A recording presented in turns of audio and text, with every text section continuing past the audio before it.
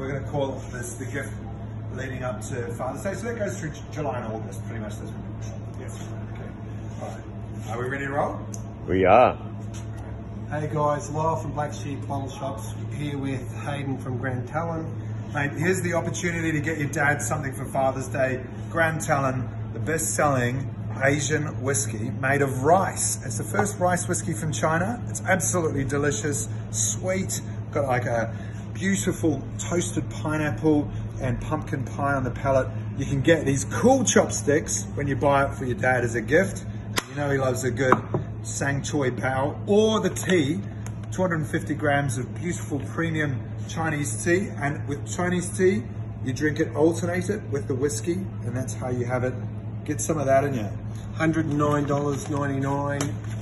Get the gift pack right now for Father's Day, guys. So jump in. Get it. Cheers, Black Sheeps.